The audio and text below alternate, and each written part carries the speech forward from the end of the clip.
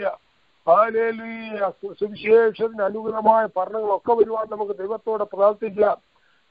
Hallelujah സ്തോത്രം സ്തോത്രം സ്തോത്രം സ്തോത്രം. ദൈവത്തിന് നമ്മളെല്ലാവരും പ്രാർത്ഥിച്ചുകൊണ്ടിരിക്കുമ്പോൾ ഹാലേലുയ ലിസ ഷിബു കുവൈറ്റ്. ഹാലിയ ദാസി ഹാലിൽ ഇപ്പോൾ ഗാനം ആലപിക്കും.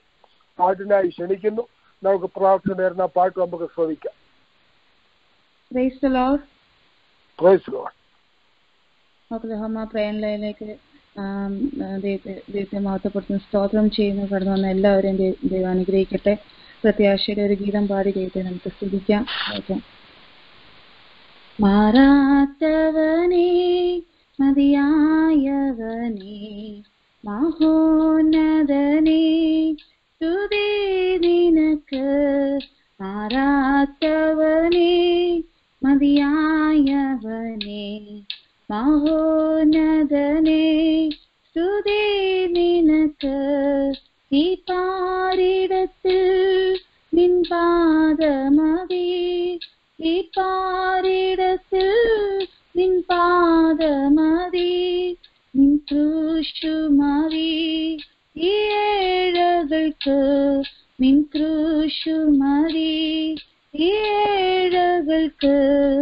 അനാക്യമല്ലൻ അടുത്തിടുമ്പോൾ ഭയം മനസ്സിൽ നിറഞ്ഞിടുമ്പോൾ അനാക്യമല്ലൻ അടുത്തിടുമ്പോൾ ഭയം മനസ്സിൽ നിറഞ്ഞിടുമ്പോൾ നിന്നാമം മതി നിന്റെ മതി. മതി നിൻ ശക്തി മതി ഈ ഏഴകൾക്ക് നിൻ ശക്തി മതി ഈ ഏഴകൾക്ക് മാറാത്തവനേ മതിയായവനേ മഹോന്നതനേ സ്തുതി നിനക്ക് മാറാത്തവനേ മതിയായവനേ മഹോന്നതനേ സ്തുതി നിനക്ക് നിരാശാപത്തിൽ ഏകാന്തതയിൽ നീയായിടുമ്പോൾ മാറാരോഗത്തിൽ നിരാശാപത്തിൽ ഏകാന്തതയിൽ നീയായിടുമ്പോൾ രോഗം ശീലിച്ച പാപം ദഹിച്ച രോഗം ശീലിച്ച പാപം ദഹിച്ച ശ്രീയേശുനാഥൻ ചാരയുണ്ടല്ലോ. ശ്രീയേശുനാഥൻ ചാരയുണ്ടല്ലോ. നാരാത്തവനെ മതിയായവനെ മഹോന്നതനെ സ്തുതി നിനക്ക്. മാറാത്തവനേ മതിയായവനെ മഹോന്നതനെ സ്തുതി നിനക്ക് മാനം കലങ്ങും നേരം വരുമ്പോൾ മാനം നടുത്തൻ പ്രിയൻ വരുന്നു. ഭയം വേണ്ടിനി പതറേണ്ട ഞാൻ ഭയം പതറേണ്ട ഞാൻ. അടുത്തില്ലയോ. മഴത്തില്ലയോ. അടുത്തില്ലയോ. മഴത്തില്ലയോ. മാറാത്തവനെ മതിയായവനെ മഹോന്നതനെ. സ്തുതി നിനക്ക്. മാറാത്തവനെ മതിയായവനെ മഹോന്നതനേ. നിനക്ക്. കാലം കഴിയും നേരം പുലരും. കാഹേളനാദം കാതിൽ കേട്ടിടും. കാലം കഴിയും നേരം പുലരും. കാഹേളനാദം കാതിൽ കേട്ടിടും. ഒരുങ്ങിയിടും തിരുസഭയെ கண்டவையே மணவாளனே எவேரேற்குவான் மணவாளனே எவேரேற்குவான் மறாத்தவனே மதியாயவனே மகோன்னதனே சுதேவினுக்கு மறாத்தவனே மதியாயவனே மகோன்னதனே പാരിടത്തിൽ നിൻ പാദമതി ഈ പാരിടത്തിൽ നിൻ പാദമതി നിൻ ക്രൂശുമതി ഈ ഏഴകൾക്ക് നിൻ ക്രൂശുമതി ഈ ഏഴകൾക്ക് മാറാത്തവനെ മതിയായവനെ മഹോന്നതനെ സ്തുതി നിനക്ക് മാറാത്തവനെ മതിയായവനെ മഹോന്നതനെ സ്തുതി നിനക്ക്. Thank you thank you God bless you thank you for beautiful song നമ്മുടെ പ്രത്യാശ വർദ്ധിപ്പിക്കുന്ന വിശ്വാസം വർദ്ധിപ്പിക്കുന്ന അനുഗ്രഹിക്കപ്പെട്ട ഗാനമാവുന്നു. രാത്രി കാലം പരിശുദ്ധാത്മാവിന്റെ നിറവിൽ നമ്മുടെ മകൾ പാട്ട് പാടിയപ്പോൾ കർത്താവ് മഹത്വം എടുത്തു. ഐശ്വര്യമായ അനുഗ്രഹങ്ങൾ നമ്മുടെ എല്ലാവരുടെ ദൈവം പകർന്നു. സ്തോത്രം പാട്ടോടെ അവിടുത്തെ നാമത്തെ സ്തുതിപ്പാനിടയായി തീർന്നു. നമ്മുടെ കർത്താവ് മഹോന്നതയെ ഗോഡ് യു സമൃദ്ധിയായ അനുഗ്രഹങ്ങൾ എല്ലാവരുടെ മേലും സമൃദ്ധിപ്പാൻ കഴിയാത്ത മക്കളുടെ മേലും ദൈവം പകർന്നുകൊണ്ടിരിക്കാവും രാത്രി കാലത്ത് വചനം സംസാരിക്കുന്ന പ്രധാന വിലപ്പെട്ട രാസിൽ വചനം സൂക്ഷിക്കുമ്പോൾ നാം വളരെ പ്രാർത്ഥനയായിരിക്കുന്ന ഹോയുടെ വചനം തീ പോലെയും പാറയെ തറക്കുന്ന ചുറ്റിയെ പോലെ ആവുന്നു ഹാലിയ സ്തോത്രം യഹോവയെ അള്ളിച്ചണമേ അടിയ കേൾക്കുന്നുള്ള പ്രാർത്ഥനയോടെ നമുക്ക് രാത്രികാലമായിരിക്കാം വചന സൂക്ഷിക്കായ കർത്താവിന്റെ ദാസൻ ഹാലിയ ബാബു ജേക്കബിലെ ഒക്കലോമ സീറ്റിൽ നിന്ന് ഹാലിയ ക്ഷണിക്കുന്നു നമുക്ക് വളരെ പ്രാർത്ഥനയായിരിക്കും Praise the Lord. Hallelujah. Praise the Lord. Praise the Lord. Praise the Lord. കഥാവിന്റെ ധന്യമേറിയ നാമത്തിന് സ്തോത്രം ചെയ്യുന്നു പ്രയർ ലൈനിൽ ജോയിൻ ചെയ്തിരിക്കുന്ന എല്ലാ ദൈവമക്കൾക്കും ക്രിസ്തുവേശുവിന്റെ നാമത്തിൽ സ്നേഹവന്ദനം അറിയിക്കുന്നു. ഒക്ലഹോമ പ്രയർ ലൈനിൽ ചൊവ്വാഴ്ച ദിവസം ബൈബിൾ സ്റ്റഡിക്ക് വേണ്ടി കർത്താവ് കൂട്ടിവരുത്തിയ ഓർത്ത് ഞാൻ ദൈവത്തിന് സർവ മഹത്വവും കൊടുക്കുന്നു. സ്തോത്രം. നിങ്ങളെല്ലാവരും സന്തോഷത്തോടെ ആയിരിക്കുന്നു എന്ന് ഞാൻ വിശ്വസിക്കുന്നു. ദൈവം ഐശ്വര്യമായി നിങ്ങളെ അനുഗ്രഹിക്കട്ടെ. ഇന്ന് സെഷൻ ലീഡ് ചെയ്യുന്ന കർത്താവിന്റെ ദാസനോടുള്ള ആദരവും സ്നേഹവും അറിയിക്കുന്നു. അനേച്ചനെ കർത്താവ് അനുഗ്രഹിക്കട്ടെ. ശുശ്രൂഷ തലത്തിൽ ദൈവം മാനിക്കട്ടെ. കരുത്തോടെ ശുശ്രൂഷിപ്പാൻ ദൈവം ബലം ആരോഗ്യം ശക്തി കൃപ ദയ ഒക്കെ തരട്ടെ. അതിനുവേണ്ടി ഞാൻ പ്രാർത്ഥിക്കുന്നു. മനോഹരമായ പ്രത്യാശയുടെ ഗാനം ആലപിച്ച പ്രിയ മകൾ അലിസായെ ഓർത്ത് ഞാൻ സ്തോത്രം ചെയ്യുന്നു. ദൈവം കൂടുതലായിട്ട് അനുഗ്രഹിക്കട്ടെ. ഈ നാളുകളിൽ കൂടുതലായി കഥാവിന് വേണ്ടി കരുത്തോടെ ശുശ്രൂഷിപ്പാൻ പാട്ടുപാടുന്നത് ഒരു ശുശ്രൂഷയാണ് പ്രാർത്ഥിക്കുന്ന ഒരു ശുശ്രൂഷയാണ് വചനം വായിക്കുന്ന ഒരു ശുശ്രൂഷയാണ് പ്രബോധനം ഒരു ശുശ്രൂഷയാണ് പ്രസംഗം ഒരു ശുശ്രൂഷയാണ് ടീച്ചിങ് ഒരു ശുശ്രൂഷയാണ്. എല്ലാം എല്ലാം നമ്മൾ ചിന്തിക്കുന്നതും നമ്മൾ പ്രവർത്തിക്കുന്നതും നമ്മൾ പ്ലാൻ ചെയ്യുന്നതും എല്ലാം നമ്മുടെ ജോലിയും എല്ലാം കർത്താവിന് വേണ്ടിയായിരിക്കണം പ്രിയരെ. നമ്മുടെ കർത്താവ് നമ്മെ പുലർത്തുന്നു. പ്രൈസ് കാർഡ് നമ്മൾ വിശ്വസ്തർ അല്ലെങ്കിലും നമ്മുടെ കർത്താവ് വിശ്വസ്തനാണ്. ഞാൻ ഇന്നൊട്ടും പ്രതീക്ഷിച്ചതല്ല. ഇന്ന് വൈകിട്ട് ഈ പ്രളയനിൽ ദൈവവചനം പഠിപ്പിക്കണം എന്ന് കർത്താവ് ദാസൻ വിലയേറിയ ദാസൻ പാസ് തോമസ് മാമനാണല്ലോ എല്ലാ ചൊവ്വാഴ്ചയും ദൈവവചനം പഠിപ്പിക്കുന്നത്. എന്നാൽ ഇന്ന് അത്യാവശ്യമായിട്ട് ദൈവവചനം പഠിപ്പിക്കണമെന്ന് പ്രിയ സാജൻ പറയുകയുണ്ടായി. കർത്താവിന്റെ കൃപ എന്നോടൊപ്പം ഉണ്ടായിരിക്കേണ്ടതിന് ദൈവമക്കളുടെ പ്രാർത്ഥന ചോദിക്കുന്നു. നമുക്ക് പ്രാപ്തി ഇല്ല പ്രിയരെ. എന്നാൽ കർത്താവ് നമ്മെ പ്രാപ്തനാക്കുന്നത് ഓർത്ത് ഞാൻ ദൈവത്തിന് സ്തോത്രം ചെയ്യുന്നു.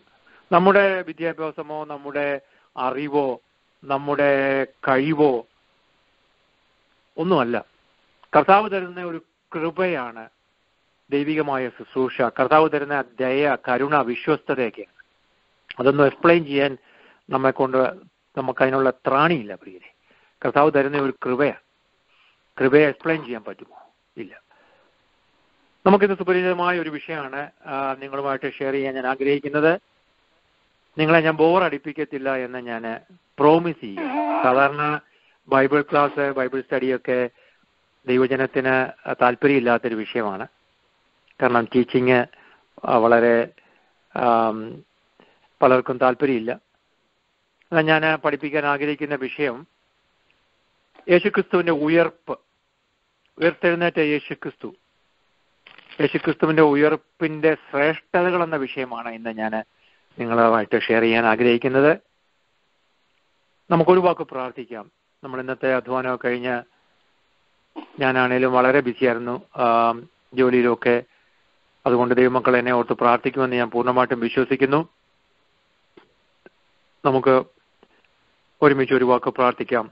കർത്താവെ ആത്മാവിൽ എഴുതപ്പെട്ട ഈ വചനം അത് ആത്മാവിൽ തന്നെ അത് ആത്മാവിൽ വിവേചിച്ച് കർത്താവെ പഠിപ്പിക്കുവാനുള്ള ശക്തി കൃപ ദയ അവിടെ നിന്നോട് കരുണ ചെയ്യണമേ കർത്താവെ.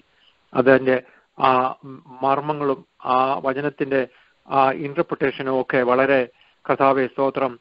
അനുയോജ്യമായി അങ്ങയ്ക്ക് പ്രസാദരമായിരിക്കാൻ പരിശുദ്ധാത്മാവെ അവിടുന്ന് എന്നെ നടത്തിക്കാട്ടെ ബലപ്പെടുത്തിക്കാട്ടെ എന്നോട് കൂടെ ഉണ്ടായിരിക്കാട്ടെ ജനത്തിന് ഒരു- അനുഗ്രഹമാക്കി അത് മാറ്റണമേ. യേശുവിന്റെ നാമത്തിൽ അപേക്ഷിക്കുന്നു. കൃപയോടെ കേൾക്കണമേ. അമേ അമേ താങ്ക് യു നമുക്ക് തിരുവനന്തപുരത്ത് നിന്ന് ഒരു വാക്യം വായിച്ചുകൊണ്ട് നമ്മുടെ ബൈബിൾ സ്റ്റഡിയിലേക്ക് നമുക്ക് പ്രവേശിക്കാം. ഒന്ന് കൊരിന്തിയർ first Corinthian book of Corinthians ഒന്ന് കൊരിന്തിയർ പതിനഞ്ചാം അധ്യായത്തിലേക്ക് നമ്മുടെ ശ്രദ്ധയെ നമുക്ക് കൊണ്ടുവരാം. ആ അധ്യായമാണ് നമ്മൾ അതിനകത്ത് നിന്ന് ചില കാര്യങ്ങൾ പറയുവാൻ ഞാൻ ആഗ്രഹിക്കുകയാണ്. അധ്യായം നിങ്ങൾ സൂക്ഷിച്ചു വെക്കണം. അതുപോലെ തന്നെ ചില വാക്യങ്ങൾ വായിച്ച് നിങ്ങൾ എന്നെ ഒന്ന് സഹായിക്കണം. ബൈബിൾ സ്റ്റഡി ആണല്ലോ അതുകൊണ്ട് പല വാക്യങ്ങൾ വായിക്കേണ്ടതായിട്ടുണ്ട്. ഒന്ന് കൊരിന്തിയർ പതിനഞ്ചാം അധ്യായം അതിന്റെ പതിനാറാം വാക്യം. മരിച്ചവർ ഉയർത്തുന്നില്ല എങ്കിൽ ക്രിസ്തുവും ഉയർത്തിട്ടില്ല. മതി. താങ്ക് യു കർത്താവിന്റെ ദാസ്യ മരിച്ചവർ ഉയർക്കുന്ന മരിച്ചവർ ഉയർക്കുന്നില്ല എങ്കിൽ ക്രിസ്തുവും ഉയർത്തിട്ടില്ല. ഇംഗ്ലീഷിൽ for if the dead are not raised neither had Christ been raised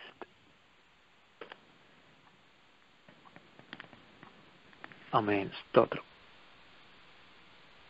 നമുക്കൊരല്പസമയം ഈ തിരുവചനത്തിന്റെ ഈ നമ്മൾ വായിച്ച ഈ വേദഭാഗത്തിന്റെ അല്ലെങ്കിൽ ബുക്ക് ഓഫ് കൊരിന്ത്യൻസ് അല്ലെ കൊരിന്തിയ ലേഖനത്തിന്റെ ആ ഒരല്പസമയം അധികം സമയം ഞാൻ എടുക്കത്തില്ല. അതിന്റെ സിറ്റ് ഔട്ടിൽ നമുക്കൊന്നിരിക്കാം.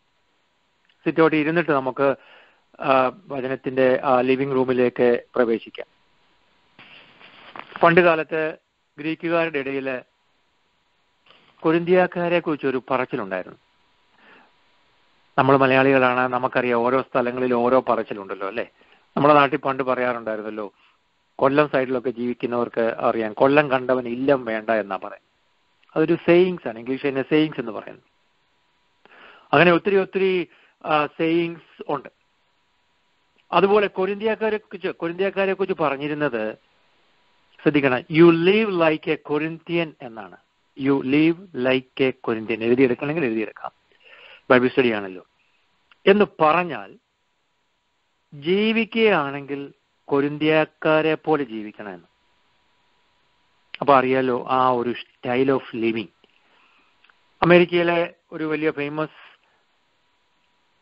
സ്ഥലമാണ് ലാസ് വേഗസ് അവരുടെ പ്രധാന ഇൻകം അല്ലെങ്കിൽ വരുമാനം ഗാംബ്ലിങ്ങും ക്ലബുകളും കസിനോസും ഒക്കെയാണ്. ലോകത്തിലെ എല്ലാ രാജ്യങ്ങളിൽ നിന്നും ആളുകൾ ഇവിടെ വരും. വളരെ ഫേമസ് ആണ്. അതുപോലെയുള്ള ഒരു പട്ടണം ആയിരുന്നു കൊരിന്തിയ പട്ടണം. Very famous city in the world കർത്താവ് പൗലോസിനോട് പറഞ്ഞത് ആ കൊരിന്തിയ ആ പട്ടണത്തെ കുറിച്ച് അപ്പോസ്തോല പ്രവൃത്തികൾ പതിനെട്ടാം അധ്യായം പതിനെട്ടാം അധ്യായത്തിന്റെ എട്ടാം വാക്യം മുതൽ പത്താം വാക്യം വരെ ഒന്ന് വായിക്കാമോ? കിട്ടിയവരങ്ങ് വായിച്ചു പെട്ടെന്ന്. ആ കൊരിന്തിയ ഞാൻ വേണമെങ്കിൽ വായിക്കാം. നിങ്ങൾ പതിനെട്ടിന്റെ? എട്ട് മുതൽ പത്ത് വരെ. അതല്ലേ? അനേകർ വചനം കേട്ട ആ വാക്യാണോ? കൊരിന്ത്യയിൽ അനേകർ വചനം കേട്ട് വിശ്വസിച്ചു സ്നാനമേറ്റു. രാത്രിയിൽ കർത്താവ് ദർശനത്തിൽ പൗലോസിനോട് നീ ഭയപ്പെടാതെ പ്രസംഗിക്ക മിണ്ടാതിരിക്കരുത് ഞാൻ നിന്നോട് കൂടെയുണ്ട്. ആരും നിന്നെ കയ്യ കയ്യ- കയ്യേറ്റം ചെയ്ത് ദോഷപ്പെടുത്തുകയില്ല. ഈ പട്ടണത്തിൽ എനിക്ക് ആ വളരെ ജനമുണ്ട് എന്നരളി ചെയ്തു. അങ്ങനെ- മതി മതി മതി. അപ്പൊ ആ പട്ടണത്തെ കുറിച്ചുള്ള അരുളപ്പാട് ആ ദൈവ ശബ്ദമാണ് കൊരിന്തിയിൽ വേല ചെയ്യാൻ പൗലൂസിനെ ശക്തീകരിച്ചത്. അതുകൊണ്ടാണ് ഞാൻ ആ വാക്യം വായിപ്പിച്ചത്. ഇനി നമുക്ക് കൊരിന്ത്യ സഭയിലെ കുറിച്ച് പറയുകയാണ് കൊരിന്തിയ സഭയിൽ കൃപാവരങ്ങൾ വികലമായി ഉപയോഗിക്കപ്പെടുന്ന ഒരു കാലഘട്ടമായിരുന്നു. കൂടാതെ മറ്റു പല പ്രശ്നങ്ങളും ആ സഭയിൽ ഉണ്ടായിരുന്നു ഞാൻ അതിലോട്ടൊന്നും പ്രവേശിക്കുന്നില്ല. ഈ വിവരങ്ങളൊക്കെ ഈ പ്രശ്നങ്ങളൊക്കെ അപ്പോസ്തോലൻ അറിഞ്ഞിട്ട് അവരെ ബോധവൽക്കരിക്കുകയാണ്. ആ ബോധവൽക്കരണം ആ കാലഘട്ടത്തിലെ കൊരിന്ത്യ സഭയ്ക്ക് മാത്രമായിരുന്നില്ല പ്രിയ ദൈവജനമേ പകരം ഈ സമയത്തു പോലും എത്രയോ വർഷങ്ങൾക്ക് മുമ്പ് എഴുതപ്പെട്ട ലേഖനമാണ്. ഈ സമയത്തു പോലും നമ്മുടെ വർത്തമാന കാലഘട്ടത്തിലും വർത്തമാന കാലത്തിലും പ്രയോജനമാകത്തക്ക നിലയിൽ ഉള്ളതാണ്. ഓ ഭയങ്കരമല്ലേ? അമേൻ ഒന്ന് കുരിന്തിയർ പതിനഞ്ചാം അധ്യായം ഉയർപ്പിന്റെ അധ്യായമാണ്. റിസറക്ഷൻ ചാപ്റ്റർ എന്നാണ് പറയപ്പെടുന്നത്. പുതിയ നിയമത്തിലെ തന്നെ ഏറ്റവും വലിയ അധ്യായങ്ങളിൽ ഒന്നാണ് ഒന്ന് കുരിന്തിയർ പതിനഞ്ചാം അധ്യായം. ഒന്ന് കുരിന്തിയർ പതിനഞ്ചാം അധ്യായം. എനിക്ക് ഏറ്റവും ഇഷ്ടമുള്ള ഒരു ഒരു ഒരു ഒരു അധ്യായമാണ്. അമ്പത്തി എട്ട് വാക്യങ്ങളാണ് ഉള്ളത്. ഈ മക്കളെ ഞാൻ ഈ അടുത്ത കാലത്ത് ഈ പതിനഞ്ചാം അധ്യായം ഒന്ന് കാണാതെ പഠിക്കാൻ ഞാനൊന്ന് ശ്രമിച്ചു കേട്ടോ. പക്ഷെ എന്നെ കൊണ്ട് അത് സാധിച്ചില്ല. കാരണം ഓർമ്മയിൽ നിൽക്കുന്നില്ല. അത് കുഞ്ഞുങ്ങൾ കുട്ടികളായിരിക്കുമ്പോൾ മാത്രമേ അതൊക്കെ പഠിക്കാൻ പറ്റത്തുള്ളൂ. അതിലെ ഓരോ വാക്യങ്ങളും എന്റെ ഒരു സുഹൃത്ത് വളരെ ചെറുപ്പത്തിൽ ആ പതിനഞ്ച് പതിനഞ്ചാം അധ്യായം മുഴുവൻ കാണാതെ പഠിച്ചാന്ന് പറഞ്ഞു. അപ്പൊ ഞാനൊന്ന് നോക്കിയത് ഇപ്പൊ കാണാതെ പഠിക്കാൻ പക്ഷെ എന്നെ കൊണ്ട് അത് വളരെ പാടായിട്ട് വരുന്നു ഈ ഒരു സമയത്ത്. എല്ലാ ദിവസവും അത് അറ്റ്ലീസ്റ്റ് ഒന്ന് വായിച്ചാൽ ഭയങ്കര രൂപാന്തരം നമ്മിലുണ്ടാവും പ്രിയരെ. പന്ത്രണ്ടാം വാക്യത്തിൽ വരുമ്പോഴാണ് പുനരുത്ഥാനം അല്ലെങ്കിൽ ഉയർപ്പ് എന്ന വിഷയം എന്താണെന്ന് മനസ്സിലാക്കാൻ കഴിയുന്നത്. കൊരിന്ത്യ സഭയിൽ ഉണ്ടായിരുന്ന വിശ്വാസികളിൽ ഒരു കൂട്ടര് ക്രിസ്തു മരിച്ച് അടക്കപ്പെട്ടു ഉയർത്തെഴുന്നേറ്റു എന്ന് വിശ്വസിച്ചിരുന്നു. എന്നാൽ അവർ ചിലർ മരിച്ചവരുടെ പുനരുത്ഥാനത്തെ നിഷേധിച്ചിരുന്നു. അതുകൊണ്ടാണ് പന്ത്രണ്ടാം വാക്യത്തിൽ പൗലൂസ് പറയുന്നത് ക്രിസ്തു മരിച്ചിട്ട് ഉയർത്തെഴുന്നേറ്റു എന്ന് പ്രസംഗിച്ചു വരുന്ന അവസ്ഥയ്ക്ക് മരിച്ചവരുടെ പുനരുത്ഥാനം ഇല്ല എന്ന് നിങ്ങളിൽ ചിലർ പറയുന്നത് എങ്ങനെ നോക്കിക്കേ ശ്രദ്ധിച്ചേ. ആ ചിലർ കുരിന്തി സഭയിലെ ചില വിശ്വാസികൾ വിശ്വസിച്ചിരുന്നത് മരിച്ചു കഴിഞ്ഞാൽ അതോടെ എല്ലാം അവസാനിച്ചു എന്നായിരുന്നു. ആ ചിന്താഗതി ഇപ്പോഴും ഇപ്പോഴും ഉണ്ട് പ്രിയരെ. അതിപ്പോഴും നിലനിൽക്കുന്നുണ്ട്. ഇപ്പോഴുള്ളവർക്കും അങ്ങനെയുണ്ട്. ഓ ഒരൊറ്റ ജീവിതമേ ഉള്ളൂ. മരിച്ച പിന്നെ എന്നാ? മരിച്ച പിന്നെ സംഭവ എന്നാ സംഭവിക്കാൻ നമുക്കറിയത്തില്ലല്ലോ. ഇതുകൊണ്ട് ഈ ലോകത്തിലെ ജീവിതമൊക്കെ അടിച്ചു പൊളിച്ച് ജീവിച്ചോണം. ഈ കാഴ്ചപ്പാട് ഇപ്പോഴും മനുഷ്യർക്കുണ്ട്. ദൈവ മക്കളെ ഈ ലോക ജീവിതത്തിൽ നാം എത്രയൊക്കെ യാതനകൾ കഷ്ടതകൾ പ്രയാസങ്ങൾ രോഗങ്ങൾ സഹിച്ച് ഈ ലോകത്തിൽ നിന്ന് വിട്ട പറഞ്ഞാൽ എന്തൊക്കെ whatever it may be ക്യാൻസറോ പാർക്കിൻസൺ ഡിസീസോ ഹാർട്ട് ഡിസീസോ യു നെയിം ഇറ്റ് എന്തൊക്കെ വന്നാലും അതൊന്നും നമ്മെ പരാജയപ്പെടുത്തത്തില്ല. കാരണം നമുക്കൊരു ഉയർപ്പുണ്ട്. ഹാ അത്ര ഭയങ്കര മർമ്മമാണ് പ്രിയരെ ക്രൈസ്തവികതയുടെ ഏറ്റവും പരമപ്രധാനമായ വിഷയമാണ് ഉയർപ്പ് അല്ലെങ്കിൽ പുനരുത്ഥാനം. അമേൻ. സ്തോത്രം. വീണ്ടും നമ്മൾ അക്കരെ നാട്ടിൽ വെച്ച് കാണും. നമ്മൾ മരിച്ചു കഴിയുമ്പോൾ നമുക്കൊരു പുനരുത്ഥാനമുണ്ട്. ഒരു ഉയർപ്പുണ്ട്. കർത്താവ് ഉയർത്തെഴുന്നേറ്റതുപോലെ. കർത്താവ് മരണത്തെ മരണം കൊണ്ട് പരാജയപ്പെടുത്തി ഉയർത്തെഴുന്നേറ്റതുപോലെ നമ്മളും അല്ലെ നാമും ഒരിക്കൽ ഉയർത്തെഴുന്നേൽക്കും. യേശുവിന്റെ ഉയർപ്പിന്റെ ശ്രേഷ്ഠതകൾ എന്തൊക്കെയാണെന്നാണ് നമ്മൾ പഠിക്കുന്നത് ഇന്ന്? വളരെ സീരിയസ് ആയിട്ടുള്ള ഒരു സബ്ജക്റ്റാണിത് വളരെ ശ്രദ്ധിച്ചിരിക്കണമേ ബൈബിൾ സ്റ്റഡിയിലെ പുനരുത്ഥാനത്തെക്കുറിച്ചൊക്കെയുള്ള അല്ലെങ്കിൽ ഉയർപ്പിനെ കുറിച്ചൊക്കെയുള്ള ഒരു അറിവ് നമുക്ക് ഈ നാളുകളിൽ ഉണ്ടായിരിക്കണം.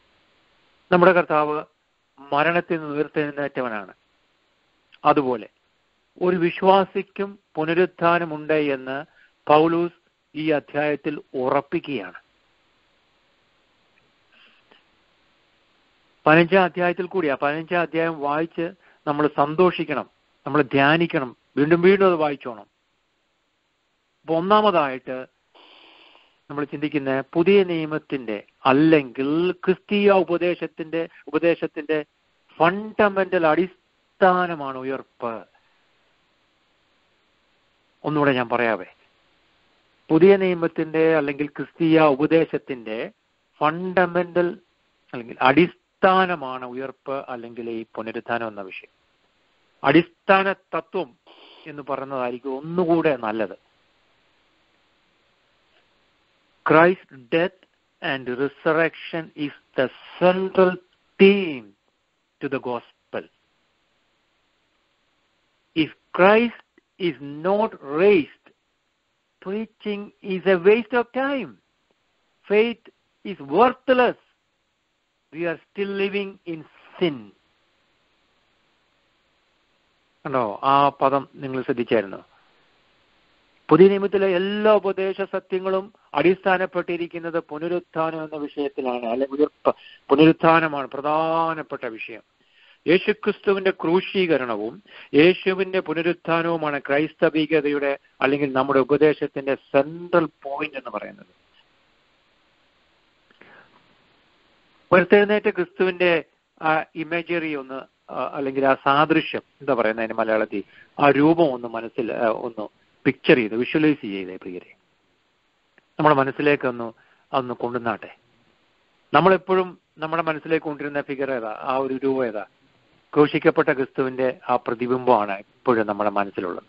ക്രൂശിക്കപ്പെട്ട് കിടക്കുന്ന കർത്താവായ യേശു ക്രിസ്തുവിന്റെ കുരിശിൽ കിടക്കുന്നു എന്നാൽ പ്രിയരെ അതുപോലെ തന്നെ ഉയർത്തെഴുന്നേറ്റ ക്രിസ്തുവിന്റെ സാദൃശ്യവും നമ്മുടെ മനസ്സിൽ നമ്മൾ എപ്പോഴും സൂക്ഷിക്കണം.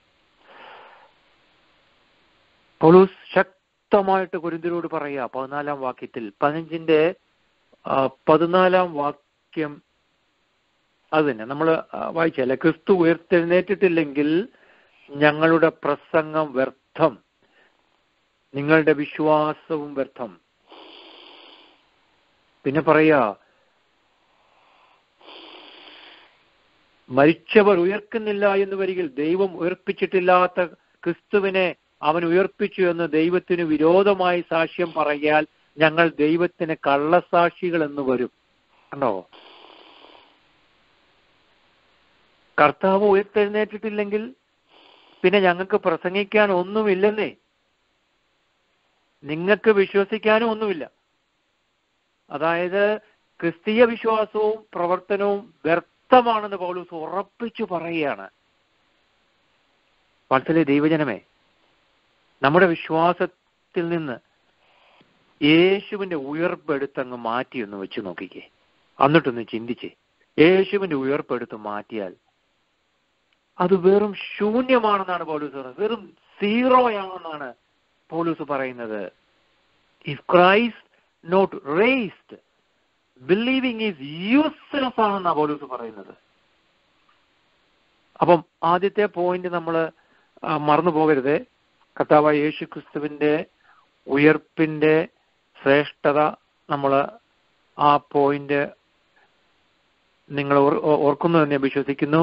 പുതിയ നിയമത്തിന്റെ അല്ലെങ്കിൽ ക്രിസ്തീയ ഉപദേശത്തിന്റെ ഫണ്ടമെന്റൽ ആയിട്ടുള്ള അല്ലെ അടിസ്ഥാനമായിട്ടുള്ള ഒരു അടി ഫണ്ടമെന്റൽ ആണ് ഉയർപ്പ് അല്ലെങ്കിൽ കർത്താവിന്റെ ഉയർപ്പ് അല്ലെ പുനരുദ്ധാനം എന്ന വിഷയം. അടിസ്ഥാന തത്വം ആണ് എന്ന് പറയുന്നതിൽ തെറ്റില്ല. രണ്ടാമത് മനസ്സിൽ ഓർക്കേണ്ട ഒരു കാര്യം ഞാൻ ഡീറ്റെയിൽ ആയിട്ട് പോകുന്നില്ല ആകെ നമുക്ക് ഫോർട്ടി മിനിറ്റ്സ് ഒക്കെ അല്ലേ ഉള്ളൂ. രണ്ടാമതായിട്ട് യേശുവിന്റെ ഉയർപ്പിന്റെ ശ്രേഷ്ഠത എന്ന് പറയുന്നത് ക്രൈസ്തവ മാർഗത്തിന്റെ സ്ഥാപകൻ ജീവിച്ചിരുന്നു എന്നല്ല. ഇന്നും ജീവിച്ചിരിക്കുന്നു എന്നാണ്. രണ്ടാമത്തെ പോയിന്റ് മനസ്സിൽ ഓർത്തോണേ. ക്രൈസ്തവ മാർഗത്തിന്റെ സ്ഥാപകൻ ജീവിച്ചിരുന്നു എന്നല്ല ഇന്നും ജീവിച്ചിരിക്കുന്നു. ഇത് തെളിയിക്കപ്പെട്ടത് കർത്താവിന്റെ ഉയർപ്പിലൂടെയാണ് പുനരുത്ഥാനത്തിലൂടെയാണ്. ഉയർത്തെഴുന്നേറ്റ യേശു ക്രിസ്തു നമ്മുടെ കർത്താവായ യേശു ക്രിസ്തു ഇന്നും ജീവിക്കുന്നത്. ഓ കർത്താവ് ഇന്നും ജീവിക്കുന്നു കർത്താവ് എന്നും ജീവിക്കുന്നു കർത്താവ് എപ്പോഴും ജീവിക്കുന്നു. ഒരു പഴയ പാട്ട് നിങ്ങൾ ഓർക്കുന്നുണ്ടോ? ഹാ ഹല്ലേ ലുയ ജയം ഹല്ലേ ലുയ യേശു കർത്താവ് ജീവിക്കുന്നു. ആ ഹാ ഹല്ലേ ലുയ ജയം ഹല്ലേ ലുയ യേശു കർത്താവ് ജീവിക്കുന്നു. ഈ ലോകത്തിലുള്ള റിലീജിയൻസിനെ കുറിച്ച് ഒന്ന് പഠിച്ചു നോക്കിക്കേ. എല്ലാ റിലീജിയൻസിനെ എടുത്തൊന്ന് അല്പം ഒന്ന് പഠിക്കണേ. സകല രാഷ്ട്രീയ പാർട്ടികളെ നോക്കിക്കേ. സകലവിധമായ ഇസങ്ങളെയും നോക്കിക്കേ. ഈ ലോകത്തിലൊക്കെ എന്തോരം മതങ്ങളുള്ള ഹിന്ദു മതമുണ്ട് മുസ്ലിം മതമുണ്ട് ജൈന മതമുണ്ട് ബുദ്ധമതമുണ്ട് പിന്നെയും കിടക്കുക കമ്മ്യൂണിസ്റ്റ് പാർട്ടിയുണ്ട് രാഷ്ട്രീയമായിട്ട് നോക്കിയ കോൺഗ്രസ് ഉണ്ട് റിപ്പബ്ലിക്കൻ പാർട്ടിയുണ്ട് ഡെമോക്രാറ്റിക് ഉണ്ട്. ഇതിന്റെ എല്ലാ സ്ഥാപകൻ ഒരിക്കൽ ജീവിച്ചിരുന്നു. ആ സ്ഥാപനത്തിന്റെ മെയിൻ ഉപജ്ഞാതാവ് ഇന്നും ജീവിക്കുന്നു എന്ന് പറയാൻ പറ്റുമോ? ഇല്ല. പറയാൻ പറ്റത്തില്ല. അങ്ങനെ പറ്റുമോ പ്രിയരെ? ഇല്ല. ആ നേതാക്കന്മാരുടെയൊക്കെ ഹിസ്റ്ററി നമ്മൾ അല്ലെങ്കിൽ ഇൻഫോർമേഷന് വേണ്ടി പരിശോധിക്കാറുണ്ട്. ഞാൻ മിക്കവാറും ഈ മെസ്സേജ് കൊടുക്കുന്നതുകൊണ്ടും ഇങ്ങനെ പഠിപ്പിക്കുന്നതുകൊണ്ടൊക്കെ എപ്പോഴും ഞാൻ ഈ ഗൂഗിളിൽ ചെന്നിട്ട് നോക്കും ഓരോ കാര്യങ്ങൾ. അല്ലെ യാഹുവിലും ഒക്കെ കാണും. നമ്മൾ അവരുടെ ഇൻഫോർമേഷൻ ഒക്കെ കളക്ട് ചെയ്യാറുണ്ട്. ഉദാഹരണത്തിന് ഞാനൊരു എബ്രഹാം ലിങ്കനെ അങ്ങ് എടുത്തു. എബ്രഹാം ലിങ്കന്റെ ഇൻഫോർമേഷൻ നമുക്ക് വേണമെന്നുണ്ടെങ്കിൽ നമ്മൾ അന്നേരം അത് ഗൂഗിളിൽ പോയി സെർച്ച് ചെയ്യും. അപ്പം ഗൂഗിളിലേക്ക് നമ്മൾ അങ്ങോട്ട് എബ്രഹാം ലിങ്കൺ അങ്ങോട്ട് ടൈപ്പ് ചെയ്ത് കൊടുക്കുമ്പോൾ തന്നെ ഫസ്റ്റ് പേജിൽ തന്നെ നമുക്ക് കാണാൻ കഴിയുന്ന ഒരു കാര്യമുണ്ട്. നിങ്ങളത് നോട്ട് ചെയ്തോണേ ഇനി ഇനിയെങ്കിലും. എബ്രഹാം ലിങ്കനെ കുറിച്ച് പറഞ്ഞിട്ട് അല്ല ഇപ്പൊ തന്നെ നിങ്ങൾ നോക്കിക്കോ കൊച്ചു കഴിയുമ്പോൾ നോക്കിക്കോ. ഒരു വർഷ ആ എബ്രഹാം ലിങ്കന്റെ കാര്യങ്ങൾ അങ്ങോട്ട് പറഞ്ഞതിന് ശേഷം ആ ഒരു ഒന്നോ രണ്ടോ അല്ലെങ്കിൽ ഒരു ഒരു പാരഗ്രാഫിൽ തന്നെ ഒരു വർഷത്തിന്റെ തുടക്കം കാണാം. അതുപോലെ മറ്റൊരു വർഷത്തിന്റെ അവസാനവും കാണാം. ആയിരത്തി എണ്ണൂറ്റി അറുപത്തി ഒന്ന് പിന്നെ ഒരു വരയിട്ടിട്ട് ആയിരത്തി എണ്ണൂറ്റി അറുപത്തി അഞ്ച് അല്ലേ? അവരുടെ പേരിന്റെ കൂടെ ഒരു വർഷത്തിന്റെ ഡീറ്റെയിൽസും കാണാൻ കഴിയും. രണ്ട് ആണ്ടുകൾ കാണും. ഉദാഹരണത്തിന് ആയിരത്തി ആയിരത്തി തൊള്ളായിരത്തി നാൽപ്പത്തി അഞ്ച് ഹൈഫൻ പിന്നെ എത്രയാ? രണ്ടായിരം രണ്ടായിരത്തി പത്തോ അല്ലെങ്കിൽ ആയിരത്തി തൊണ്ണൂറ്റി തൊണ്ണൂറ്റെട്ടോ? ഞാൻ ഉദാഹരണം പറഞ്ഞതേ ഉള്ളൂ. അല്ലെ ആയിരത്തി എണ്ണൂറ്റി അറുപത്തി ഒമ്പത് ഹൈഫൻ ആയിരത്തി തൊള്ളായിരത്തി നാൽപ്പത്തി എട്ട് അപ്പൊ ആ വർഷം കാണിക്കുന്ന എന്താണ്? ആ കാലയളവിലാണ് ആ സ്ഥാപകൻ ആ വ്യക്തി അല്ലെങ്കിൽ ആ മാന്യ വ്യക്തി മാന്യ വ്യക്തി ജീവിച്ചിരുന്നത് എന്നാണ്. ആ മാന്യ വ്യക്തി ജീവിച്ചു മരിച്ചു അവിടം കൊണ്ട് ആ വ്യക്തിയുടെ ജീവിതം കഴിഞ്ഞു. ഇനിയും നിങ്ങൾ ഒബിച്ചറിയൊക്കെ പേജ് എടുത്ത് നോക്കുമ്പോൾ ഒബ്സർവ് ചെയ്താൽ മതി. നിങ്ങൾക്ക് കാണാൻ കഴിയും. അതുപോലെ തന്നെ ആ മതസ്ഥാപകരുടെ അല്ലെങ്കിൽ ആ സമൂഹത്തിലെ ഉന്നത സ്ഥാനത്തിരുന്നവരുടെയൊക്കെ കല്ലറകൾ ഇപ്പോഴും വളരെ ഭദ്രമായി സൂക്ഷിക്കുന്നുണ്ട്. അതും വളരെ പ്രൊട്ടക്ഷനോട് കൂടിയാണ് ഈ സെമിത്തേരിയിലെ കല്ലറകളൊക്കെ സൂക്ഷിച്ചു വെച്ചിരിക്കുന്ന പ്രിയതി മഹാത്മാഗാന്ധിയുടെ ഗാന്ധിജിയുടെ കല്ലറ എവിടെയാ? നമുക്കറിയാലോ എവിടെയാ? രാജ്ഘട്ടില അല്ലെ? ഒക്ടോബർ രണ്ടായിരത്തി എണ്ണൂറ്റി അറുപത്തി ഒമ്പത് ജനിച്ചു. ജനുവരി മുപ്പത് ആയിരത്തി തൊള്ളായിരത്തി നാൽപ്പത്തി എട്ടിൽ മരിച്ചു. മുസ്ലിം മതത്തിന്റെ സ്ഥാപകനായ പ്രൊഫറ്റ് മുഹമ്മദിന്റെ കലറ ദ ഗ്രീൻ ഡോം എന്നാണ് അറിയപ്പെടുന്നത്. സൗദി അറേബ്യയിലാണ് സൗദി അറേബ്യയിലെ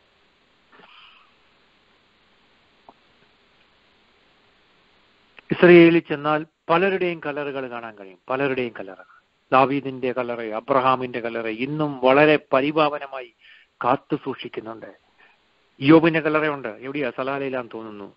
ഇവരൊക്കെ ഓരോ കാലഘട്ടത്തിൽ ജീവിച്ചവരും ഓരോ പ്രസ്ഥാനങ്ങളുടെ ഉപജ്ഞാതാക്കളുമായിരുന്നു. എന്നാൽ ഇവരിൽ നിന്ന് എല്ലാം വ്യത്യസ്തമായി അവരുടെ കല്ലറകൾ വളരെ ഭക്തിയോടെ സൂക്ഷിച്ചു വെച്ചിരിക്കുമ്പോൾ ക്രൈസ്തവികതയുടെ ഏറ്റവും വലിയ അഭിമാനം എന്ന് പറയുന്നത് സഭയുടെ നാഥൻ ഒരിക്കൽ ജീവിച്ചിരുന്നു എന്നല്ല ഇന്നും ജീവിക്കുന്നു എന്ന അഭിമാനത്തോടെ പറയാൻ കഴിയും. അത് നമ്മുടെ കർത്താവാണ്. നമ്മുടെ കർത്താവ് ഇന്നും ജീവിക്കുന്നു.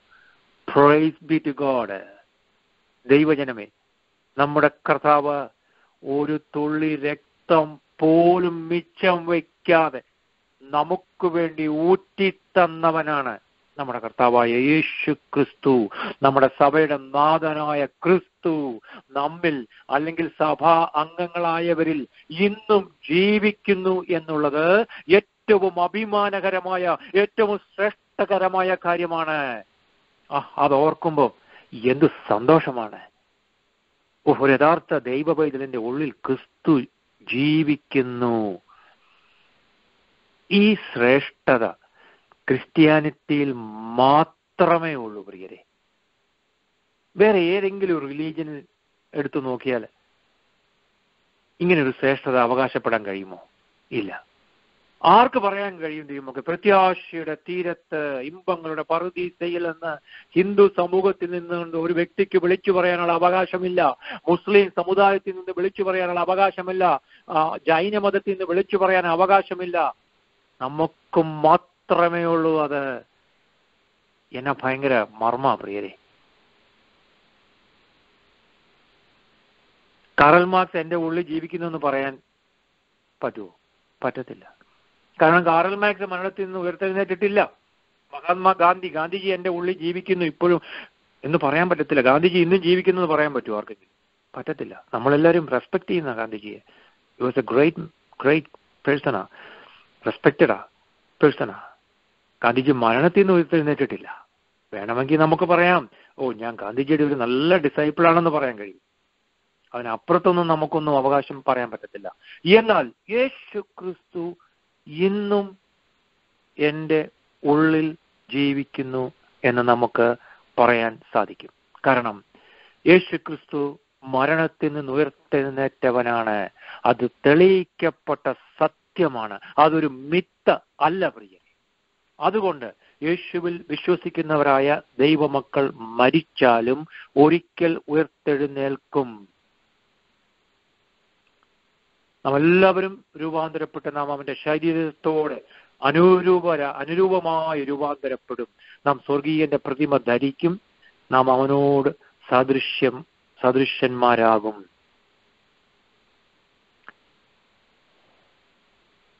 യേശുവിനെ സ്വന്തം രക്ഷിതാവായി സ്വീകരിച്ച ഓരോ ദൈവവൈതലനും പറയാൻ കഴിയും. യേശു മരണത്തെ പരാജയപ്പെടുത്തി മൂന്നാം നാൾ ഉയർത്തെഴുന്നേറ്റുവെന്ന് ആ യേശു ക്രിസ്തു ഇന്നും ജീവിക്കുന്നു എന്ന്. നമ്മൾ എത്ര അനുഗ്രഹിക്കപ്പെട്ട what a blessed people we are നാം ക്രിസ്തുവിലാണ് വസിക്കുന്നത്. ക്രിസ്തു നമ്മിലും വസിക്കുക. ഇപ്പൊ ഞാൻ പറഞ്ഞതുപോലെ ക്രിസ്തുവിന്റെ ഹിതത്തിന് ഏൽപ്പിച്ചു കൊടുക്കും ക്രിസ്തു പറയുക കർത്താവ് പറയ മോനെ ഇവിടെ നിർത്തിയത് നിന്റെ ജോലി. മോളെ നിന്റെ ജോലി ഇപ്പൊ ഇവിടെ നിർത്തിയത് നീ എന്നോട് പോര്. അല്ല എന്റെ വേല ചെയ്യാം. അല്ല നീ ഇപ്പൊ അങ്ങോട്ട് പോകണ്ട. അല്ല നീ അമേരിക്കയിൽ നിന്ന് നീ ആഫ്രിക്കയിൽ പോയി താമസിച്ചു. അല്ല ഇന്ത്യയിൽ പോയി നീ വേല ചെയ്തു. കർത്താവ് പറയണ അവിടെ വെച്ച് അങ്ങ് നിർത്തിക്കോണം. കർത്താവിലാണ് നമ്മൾ ക്രിസ്തുവിലാണ് ക്രിസ്തുവിൽ. അതൊരു ഭയങ്കര മർമ്മമാണ്.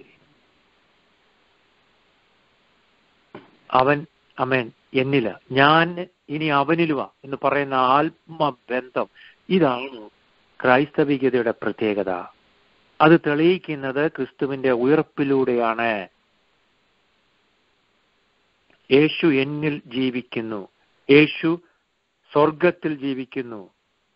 മറ്റുള്ള മത നേതാക്കന്മാരുടെ കല്ലറകൾ തുറക്കപ്പെട്ടിട്ടില്ല. അവരാരും ഉയർത്തെഴുന്നേറ്റിട്ടില്ല. ഒരുവൻ മാത്രം മരണത്തെ മരണം കൊണ്ട് തോൽപ്പിച്ച് മരണത്തിൽ നിന്ന് ഉയർത്തെഴുന്നേറ്റ് അതാണ് ക്രിസ്തു.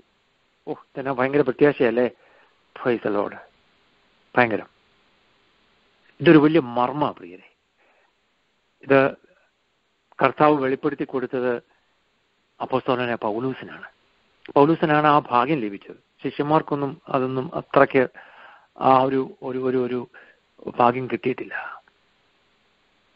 അപ്പൊ നമുക്ക് അടുത്ത ഒരു പോയിന്റ് നയൻ ഫോർട്ടി ടു അല്ലേ? അടുത്ത ഒരു പോയിന്റ് ഒരു ശ്രേഷ്ഠത കർത്താവിന്റെ ഉയർപ്പിലൂടെ. സാധാന്യ പദ്ധതികളുടെ സമ്പൂർണ പരാജയമാണ് കർത്താവിന്റെ ഉയർത്തെഴുന്നേൽപ്പ് പുനരുത്ഥാനമൊക്കെ എന്ന് പറയുന്നത്. ഓർത്തോണേ സാത്താന്യ പദ്ധതികളുടെ സമ്പൂർണ പരാജയമാണ് കർത്താവിന്റെ ഉയർപ്പ്. ദൈവസഭയുടെ ആവിർഭാവത്തിനും ദൈവമക്കൾക്കും എതിരെ മുൻകൂട്ടി പ്ലാൻ ചെയ്തിരുന്ന സാത്താന്റെ സർവ പദ്ധതികളെയും അടിച്ചൊതുക്കി അതിനെ എല്ലാം തകർത്ത് തരിപ്പണമാക്കി. ഏതിലൂടെയാണ്? കർത്താവിന്റെ ഉയർപ്പിലൂടെ. അതൊരു ഭയങ്കര ഒരു ശക്തമേറിയ ഒരു മർമ്മല്ലേ താൽവറി ക്രൂശിൽ യേശു യാഗമായി തീർന്നു. അവിടെ കൊണ്ട് യേശു മരിച്ചിരുന്നെങ്കിൽ ഒന്ന് ഓർത്തു നോക്കി. അതൊരു സമ്പൂർണ പരാജയമായി തീർന്നതിനെ ദൈവജനമേ. ആദാം തുടങ്ങിയ വൻ ശ്രേഷ്ഠന്മാരായ എല്ലാവരും മരിച്ചു. അതുപോലെയുള്ള ഒരു സാധാരണ മരണമായിരുന്നു യേശുവിന്റെ എന്ന് പറഞ്ഞേനെ. യേശുവിന് സംഭവിച്ചിരുന്നെങ്കിൽ അങ്ങനെ ഒരു മരണം മാത്രമേ യേശുവിന് സംഭവിച്ചിരുന്നെങ്കിലോ? അതുകൊണ്ട് സമ്പൂർണ വിജയം എന്ന് പറയാൻ പറ്റുമോ പ്രിയരെ? പറ്റത്തില്ല. എന്നാൽ സമ്പൂർണ വിജയം ആയതെപ്പോഴാ? കർത്താവ് ഉയർത്തെഴുന്നേറ്റതോടുകൂടിയാണ് കർത്താവിന്റെ ഉയർത്തെഴുന്നേൽപ്പോടുകൂടിയാണ് എന്ന് ഓർക്കണം. യേശു ഉയർത്തെഴുന്നേറ്റിട്ടില്ലായിരുന്നെങ്കിൽ എല്ലാവരും മരിച്ച കൂട്ടത്തിൽ യേശുവും മരിച്ചു എന്നുള്ളതേ ഉള്ളൂ.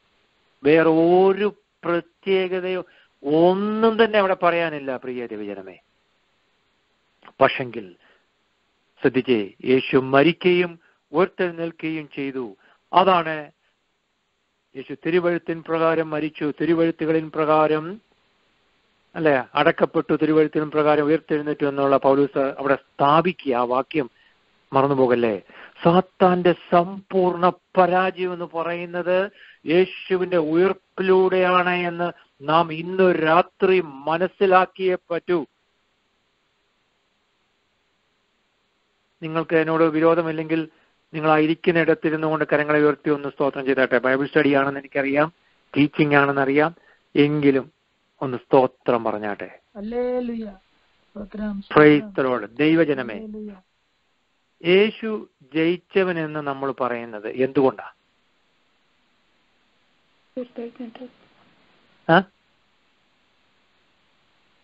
യേശു മരണത്തെ കീഴടക്കിയത് കൊണ്ടാണ്. ധൈര്യമായിട്ട് പറയാം എന്നെ പേടി എന്നെ ഇച്ചിരി. ധൈര്യമായിട്ട് പറഞ്ഞു യേശു മരണത്തെ കീഴടക്കിയത് കൊണ്ടാണ് യേശു ജയിച്ചവനെന്ന് നാം പറയുന്നത്. മരണത്തെ മരണം കൊണ്ട് പരാജയപ്പെടുത്തിയവനാണ് യേശു ക്രിസ്തു അതുകൊണ്ടാണ് പൗലൂസ് ഈ പതിനഞ്ചാം അധ്യായം എന്ന് പറയുന്ന എന്റെ ദൈവജനമേ ഭയങ്കര ഒരു ഇൻക്രെഡിബിൾ അമേസിംഗ് ചാപ്റ്റർ ആണ്. One of the amazing chapters in the book of Corinthians ഇത് കാണാതെ തന്നെ പഠിക്കണം എന്നുള്ള എന്റെ ഒരു വാശി പക്ഷേ സമയം സമയം എനിക്ക് കിട്ടാത്തതുകൊണ്ട് എനിക്ക് അതിനകത്ത് കോൺസെൻട്രേറ്റ് ചെയ്യാൻ പറ്റുന്നില്ല. നിങ്ങൾ ആരെങ്കിലും ഈ വാക്യങ്ങൾ ഈ പതിനഞ്ചാം അധ്യായത്തിലെ എല്ലാ വാക്യങ്ങളും കാണാതെ പഠിച്ച് സാജൻ ബിജി സിസ്റ്ററിനോടും നിങ്ങൾ പറഞ്ഞാൽ എന്റെ ഒരു ഗിഫ്റ്റ് നിങ്ങൾക്ക് ഞാൻ അയച്ചു തരുന്നതായിരിക്കും. അല്ലെങ്കിൽ ഒക്ലോമ സിറ്റിയിലാണ് വീട്ടിൽ കൊണ്ടുതരാം ഞാൻ പ്രോമിസ് ചെയ്യുകയാണ് കേട്ടോ.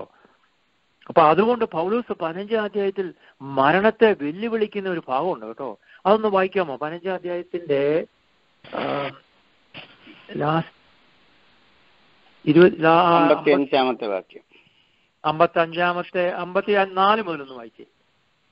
അമ്പത്തിനാല്. ഈ ദ്രവത്വമുള്ളത് അദ്രവത്വത്തെയും ഈ മർത്യമായത് അമർത്യത്തെയും ധരിക്കുമ്പോൾ മരണം നീങ്ങി ജയം വന്നിരിക്കുന്നു എന്നെഴുതിയ വചനം നിവർത്തിയാകും. ഹേ മരണമേ നിന്റെ ജയം എവിടെ? ഹേ മരണമേ നിന്റെ വിഷമുള്ള എവിടെ? മരണത്തിന്റെ വിഷമുള്ള പാപം പാപത്തിന്റെ ശക്തിയോ ന്യായപ്രമാണം. നമ്മുടെ കർത്താവായ യേശു ക്രിസ്തു മുഖാന്തരം നമുക്ക് ജയം നൽകുന്ന ദൈവത്തിന് സ്തോത്രം. ആകയാൽ. മതി മതി അത് മതി അത് മതി ആമേൻ. Praise the Lord. Thank you കഥാവിന്റെ ദാസ്യ ദൈവം അനുഗ്രഹിക്കട്ടെ വലിയൊരു ശുശ്രൂഷയാണ് ഇത്. അപ്പൊ ഓ death where is your sting oh Hades where is your victory എന്റെ ധൈര്യം ആ വാക്യം ധ്യാനിച്ചു കഴിയുമ്പോൾ വാക്യം എഴുന്നേറ്റ് നിൽക്കുന്നതായിട്ട് നമുക്ക് തോന്നും പ്രിയരെ. ആ വാക്യത്തിനകത്ത് ലയിച്ചിരിക്കണം. ആ ലയിച്ചിരിക്കുന്ന ഒരു സന്ദർഭത്തിലേക്ക് വന്നെങ്കിലേ നമുക്ക് ദൂതുകൾ കിട്ടത്തുള്ളൂ. വേറൊന്നും സെൽഫോണോ ഒന്നും അന്നേരം അടുത്ത് വെക്കരുത്. ലയിച്ചിരിക്കുന്ന ആത്മലയനത്തിലേക്ക് വന്നു കഴിയുമ്പോൾ നമുക്ക് പല ദൂതുകൾ ദൈവം തരും. അത് ഈ പൗലൂസിന് മാത്രമല്ല മാത്യു ഹെൻറിക്ക് മാത്രമല്ല പ്രിയതി നമുക്കൂടെ വെച്ചിരിക്കുന്നത്. നമ്മളത് എക്സസൈസ് ചെയ്യുന്നില്ല. നമ്മുടെ കയ്യിൽ ഈ ട്വന്റി ഫോർ അവേഴ്സും ഈ സെൽഫോണും ഫോണും എപ്പോഴും ഇതിങ്ങനെ ഇരിക്കുമല്ലേ അതൊക്കെ മാറ്റിയേ പറ്റൂ. ഈ ഓ death where is your sting oh Hades where is your victory മരണത്തിന്റെ വിഷമുള്ളെന്ന് പറഞ്ഞാൽ എന്താ? എന്താ? എന്താ? പറ. പാപം. അമേൻ ഹാലലൂയ സ്തോത്രം. എന്നിട്ട് പറയാ thanks be to God who gives us the victory through our Lord Jesus Christ Paulose ധൈര്യത്തോടെ വാക്യം വിളിച്ചു പറയാനുള്ള കാരണം മറ്റൊന്നുമല്ല യേശു ക്രിസ്തു മരണത്തെ കീഴടക്കിയത് കൊണ്ടാണ്. ഓ ആ വാക്യം എന്നാ ഭയങ്കര വാക്യം എന്നറിയോ? കൊരിന്ത്യ സഭയിലുള്ളവരെ ബോധവാന്മാരാക്കി വളരെ ക്രിസ്റ്റൽ ക്ലിയർ ആയിട്ട് മനസ്സിലാക്കി കൊടുക്കുകയാണ് പൗലൂസ്. ഒന്ന് ശ്രദ്ധിച്ചേ ഇന്നും ഇത് റിലവന്റ് ആണ്. റിലവന്റ് എന്നുള്ളതിൽ മലയാളം തന്നെ ഇന്ന് റിലവന്റ് എന്ന് പറഞ്ഞാൽ ഇന്നും ഇതിന് പ്രസക്തി ഉണ്ടെന്ന്. ഇതൊരു ഇതൊരു മർമ്മമായിരുന്നു. ആർക്കും അറിയത്തില്ലായിരുന്നു പ്രിയര്. അങ്ങനെ ആ ആ പതിനഞ്ചാം അധ്യായത്തിലുണ്ട് കേട്ടോ. അത് നമുക്ക് പിന്നീട് നമുക്ക് പറയാം. അത് മർമ്മം തന്നെ അവിടെ പറഞ്ഞിരിക്കുന്നത് ആ മർമ്മം പൗലൂസ് പൗലൂസിന് ദൈവം വെളിപ്പെടുത്തി കൊടുത്തു. അത് അദ്ദേഹം അവരോട് പറയുക അവരെ പറഞ്ഞു മനസ്സിലാക്കി കൊടുക്കുക മരണത്തെ ഒരു വ്യക്തി ഒരു പേഴ്സൺ എന്ന നിലയിൽ കണ്ടുകൊണ്ട് പൗലൂസ് പറയുകയാണ് ഹേ മരണമേ നിന്റെ ജയം എവിടെയാ? ഹേ മരണമേ നിന്റെ വിഷമുള്ള എവിടെയാ? ഹേ മരണമേ ഞങ്ങളുടെ കർത്താവ് മരണത്തെ ജയിച്ചവനാണ്. ഹേ മരണമേ നീ വിചാരിച്ചു ഈ ആറടി താഴ്ചയുള്ള കോവിഡൊക്കെ അവിടെ ഏഴടിയും കൂടെ വെച്ചു വേണമെങ്കിൽ ഈ ഏഴടി താഴ്ചയുള്ള ശവക്കല്ലറയ്ക്കകത്ത് എന്റെ കർത്താവിനെ ഒതുക്കാമെന്ന് നീ വിചാരിച്ചു അല്ലേ? എന്നാൽ എന്റെ കർത്താവ് അമേ നിന്നെ അതാ ആ വ്യക്തി എന്ന നിലയിൽ അവരെ പറഞ്ഞ് മനസ്സിലാക്കി കൊടുക്കുക. മരണത്തെ തോൽപ്പിച്ചുകൊണ്ട് മൂന്നാം നാൾ ഉയർത്തെഴുന്നേറ്റവനാണ്. അതുകൊണ്ട് ഓ death where is your power to hurt him? Oh, where is your victory over death?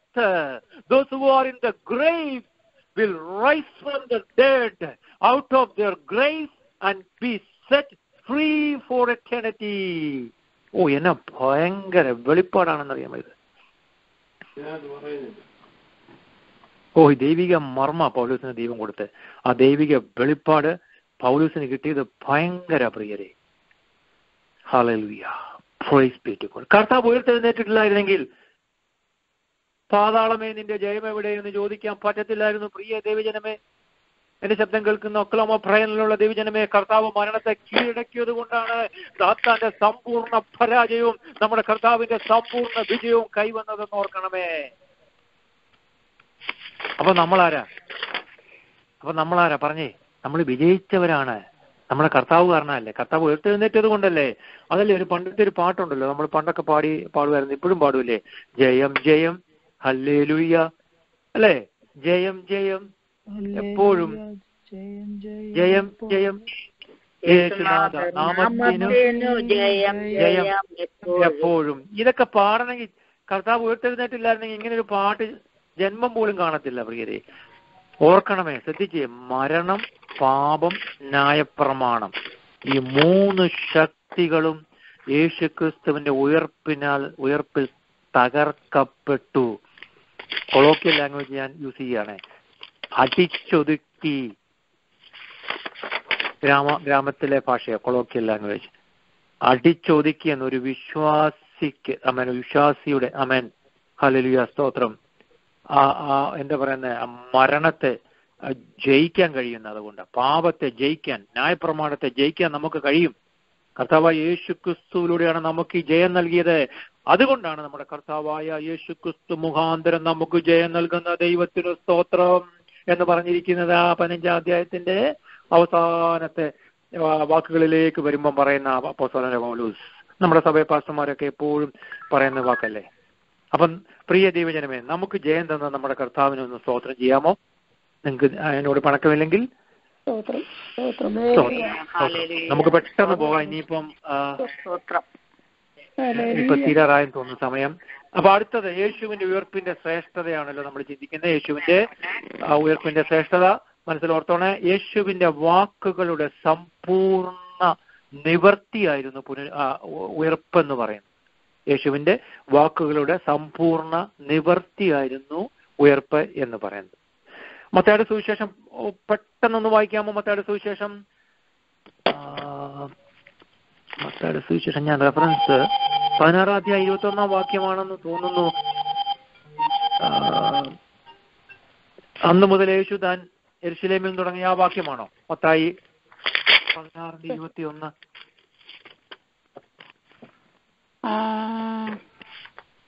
ഇരുപത്തൊന്ന്. അന്ന് മുതൽ യേശു. താൻ എരിശിലേമിൽ ചെന്നിട്ട് മൂപ്പന്മാർ മഹാപുരോഹിതന്മാർ ശാസ്ത്രിമാർ എന്നിവരാൽ പലതും സഹിച്ചു കൊല്ലപ്പെടുകയും മൂന്നാം നാൾ ഉയർത്തെഴുന്നേൽക്കുകയും വേണ്ടത് എന്ന് ശിഷ്യന്മാരോട് പ്രസ്താവിച്ച് തുടങ്ങി.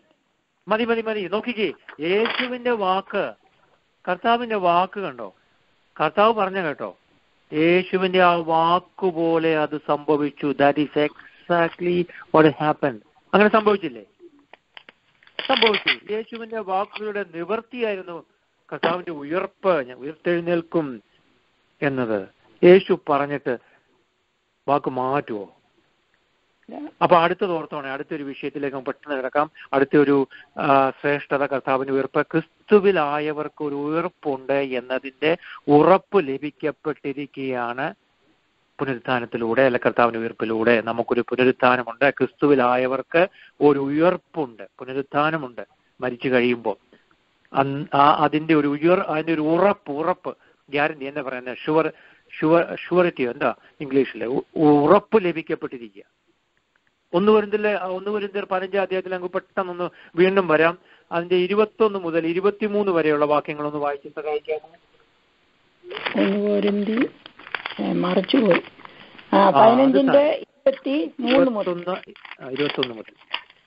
മനുഷ്യ മനുഷ്യൻ മൂലം മരണം ഉണ്ടാകയാൽ മരിച്ചവരുടെ പുനരുത്ഥാനവും മനുഷ്യൻ മൂലം ഉണ്ടായി. ആദാമിൽ എല്ലാവരും മരിക്കുന്നത് പോലെ ക്രിസ്തുവിൽ എല്ലാവരും ജീവിക്കപ്പെടും. ഓരോരുത്തൻ താൻ താന്റെ നിരയിലത്രേ. ആദ്യ ഫലം ക്രിസ്തു പിന്നെ ക്രിസ്തുവിനുള്ളവർ അവന്റെ വരവിങ്കൽ. പിന്നെ അവസാനം അന്ന് അവൻ എല്ലാ വാഴ്ചയ്ക്കും അധികാരത്തിനും ശക്തിക്കും നീക്കം വരുത്തിയിട്ട് രാജ്യം പിതാവായ ദൈവത്തെ ഏൽപ്പിക്കും. അവൻ സകല ശത്രുക്കളെയും കാൽക്കീഴാക്കുവോളം വാഴേണ്ടതാകുന്നു. ഒടുക്കത്തെ ശത്രുവായിട്ട് മരണം നീങ്ങിപ്പോകും. സകലത്തെയും അത് മതി അത് മതി അത് മതി. അത്രയും മതി. താങ്ക് യു ആ വാക്യം നമുക്കൊരു ഉയർപ്പുണ്ട് എന്നതിന്റെ ഒരു ഉറപ്പ് തരുന്ന ഒരു വാക്യങ്ങളാണ് ഒരു കാര്യം ഇവിടെ ഓർക്കണേ. ഈ പഴയ നിയമ ഭക്തന്മാർക്ക് എല്ലാവർക്കും ഈ വെളിപ്പാട് കിട്ടിയിട്ടില്ലായിരുന്നു. ചില ഭക്തന്മാർക്ക് ചിലർക്ക് മാത്രമായിരുന്ന ഈ പുനരുദ്ധാനത്തെക്കുറിച്ചുള്ള വെളിപ്പാട് കിട്ടിയിരുന്നത്. മരിച്ചു കഴിഞ്ഞ് ഉയർത്തപ്പെടുന്ന ഒരവസ്ഥ. ഉദാഹരണത്തിന് ഇയോബ് എന്ന ഭക്തനെ എടുത്തു. ഈ വെളിപ്പാട് ലഭിച്ചതായിരുന്നു ഇയോബിന് ഭയങ്കര കേട്ടോ ആ ഒരു ആ ഒരു ഭാഗം നമ്മൾ ധ്യാനിക്കുമ്പോൾ പഠിക്കുമ്പോൾ ഭയങ്കര മിസ്ട്രി അത്. ഇയോബ് പറയുന്ന വാക്കുകൾ ഓർക്കുന്നുണ്ടോ? എന്നെ വീണ്ടെടുക്കുന്നവൻ ജീവിച്ചിരിക്കുന്നുവെന്നും അവൻ ഒടുവിൽ പൊടിമേൽ നിൽക്കുമെന്നും ഞാൻ അറിയുന്നു. എന്റെ തൊക്ക് ഇങ്ങനെ നശിച്ച ശേഷം ഞാൻ ദേഹസഹിതനായി ദൈവത്തെ കാണും. ഞാൻ തന്നെ അവനെ കാണും. അന്യനല്ല എന്റെ സ്വന്തം കണ്ണുകൊണ്ട് അവനെ കാണും. എന്റെ അന്തരംഗം എന്റെ ഉള്ളിൽ ലയിച്ചിരിക്കുന്നു. യോബ് പത്തൊമ്പതിന്റെ ഇരുപത്തി അഞ്ചാം വാക്യമാണ് റെഫറൻസ് ആയിട്ട് എഴുതിയെടുത്തോ ഓർക്കണം ഒന്ന് ഓർത്തേ. ഇയോബിന്റെ കാലത്ത് ന്യായപ്രമാണമോ? ഇന്നത്തെ പോലെ മാത്യു ഹെൻറിയുടെ കമന്ററിയോ യൂട്യൂബോ ഇന്റർനെറ്റോ ഇല്ലാതിരുന്ന കാലത്ത് അയ്യോബിന് ഈ മഹനീയമായ വെളിപ്പാട് കിട്ടിയെന്ന് ഓർക്കണം പ്രിയ ഒരു വിജനമേ അന്നത്തെ കാലത്ത് മരിച്ചാൽ ഉയർത്തെഴുന്നേൽക്കും എന്നുള്ള പ്രത്യാശയോ അതിനെക്കുറിച്ച് ഒന്നും ഒരറിവും ഇല്ലാതിരുന്ന കാലഘട്ടത്തിലാണ് അയ്യോബ് ജീവിച്ചിരുന്നത് ഓർക്കണം. അയ്യോബിന്റെ ആ വിശ്വാസം ആ ഭയങ്കര ആയിരിക്കുന്നു. വീണ്ടെടുപ്പുകാരനിലുള്ള വിശ്വാസം അവനിൽ വലിയ പ്രത്യാശ ഉളവാക്കി. ഓ യോവിന്റെ ആ വാക്കുകൾ എന്നെ ഭയങ്കരമായിട്ട് എന്നെ എന്താ പറയുന്നേ ഭയങ്കരമായിട്ട് എന്നെ ഉത്തേജിപ്പിച്ച. ഞാൻ നിൻ ഞാൻ തന്നെ അവനെ കാണുമെന്നാണ് ഭയങ്കര വെളിപ്പാട് യോവിന് കിട്ടിയത്. ഇതാണ് ഉയർപ്പിന്റെ പുനരുത്ഥാനത്തെ കുറിച്ചുള്ള വെളിപ്പാട്. പുനരുത്ഥാനത്തെ കുറിച്ചുള്ള വെളിപ്പാട് കിട്ടി ഇതുകൊണ്ട് ഇയോബിനെ പഴയ നിയമ ഭക്തന്മാരുടെ നിരയിൽ ഒന്നാം സ്ഥാനത്ത് നിർത്തി. ഞാൻ തന്നെ അവനെ കാണുമെന്നാ പറഞ്ഞിരിക്കുന്നത് ശവക്കുഴി അവന്റെ തൊക്ക് അല്ലെങ്കിൽ ശരീരം അല്ലെങ്കിൽ അവന്റെ ചർമ്മത്തെ തിന്നുകളഞ്ഞേക്കാം അവൻ തന്നെ ആ ശവക്കുഴിയിൽ മണ്ണോട് ലയിച്ചു പോയേക്കാം. എങ്കിലും എന്റെ വീണ്ടെടുപ്പുകാരന്റെ കാഹളനാദത്തിങ്കൽ ദേഹസഹിതനായി ദൈവത്തെ ഞാൻ കാണും ഇംഗ്ലീഷിൽ. And after my skin is destroyed this I know that in my flesh I shall see God ദേഹസഹിതനായി ഞാൻ ദൈവത്തെ കാണും. പ്രിയ ദൈവജനമേ നമ്മുടെ ജീവിതത്തിൽ എന്തിനാണ് ഒത്തിരി ടെൻഷൻ അടിക്കുന്നത്? കഷ്ടതയും പ്രയാസവും രോഗവും ഒന്നുമില്ലാത്ത ഒരു അനുഭവത്തിലേക്ക് നമ്മൾ പ്രവേശിക്കാൻ പോവുകയാണ്. മരണം നമ്മെ ഇല്ലാതാക്കുന്നില്ല. മരണശേഷവും നമ്മുടെ ആത്മാവ് നിത്യമായി സുബോധാവസ്ഥയിലാണെന്ന് ഓർക്കുക. ഓ ഉയർപ്പിന്റെ പുനരുത്ഥാനത്തിന്റെ പുത്തൻ പുലരിയിൽ പുനരുത്ഥാനം സമ്മാനിക്കുന്ന തേജസ്സിന്റെ പുതു ശരീരത്തോടെ ദൈവത്തെ മുഖാമുഖമായി കാണാമെന്നാണ് ഇയോബിന്റെ പ്രത്യാശ. ഇന്ന് ഈ പ്രേലയിലായിരിക്കുന്ന നമുക്ക് ഈ പ്രത്യാശയുണ്ടോ? പ്രത്യാശയുള്ള ഒരു ദൈവത്തിന് സ്തോത്രം ചെയ്യാമോ.